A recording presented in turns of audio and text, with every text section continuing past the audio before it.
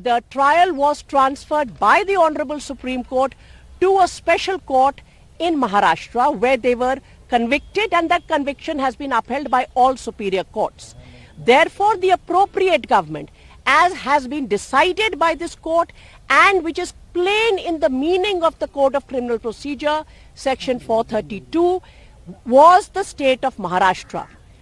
The court said that the order that was obtained in 2022 May from this court saying that the state of Gujarat will decide is an order which was obtained by playing fraud upon this court. All facts were not placed before the court. If such an order is obtained, that order has no meaning in the eyes of law. It is a nullity in the eyes of law.